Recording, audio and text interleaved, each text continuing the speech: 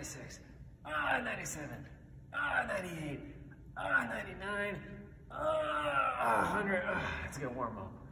Oh, wait, did we get started filming? Oh my goodness, that's so embarrassing. Guys, I didn't even realize I was just getting started with some push-ups. I didn't realize we started filming. Okay, not a problem. Guys, come with me.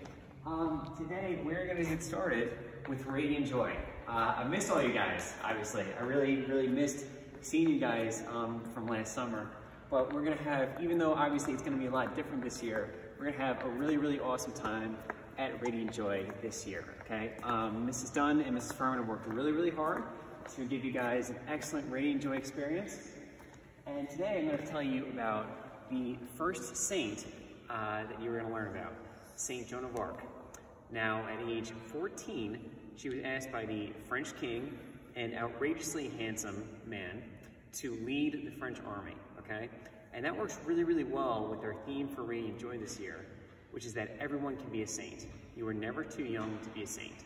So at just age 14, which is probably only like a little bit older than some of you guys, she was asked to lead the French army, okay? And she became a great saint and a great hero in our church. And so now without any further ado, uh, here is the video.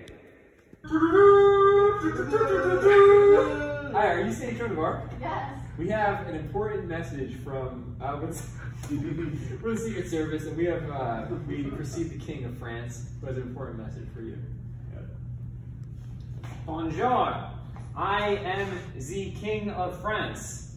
Baguette, omelette du fromage, Frenchy Frenchy. I have an important mission for you. Yes. You need to lead my army from now on.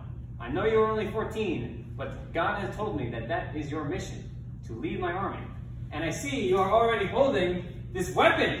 You are ready to lead the army.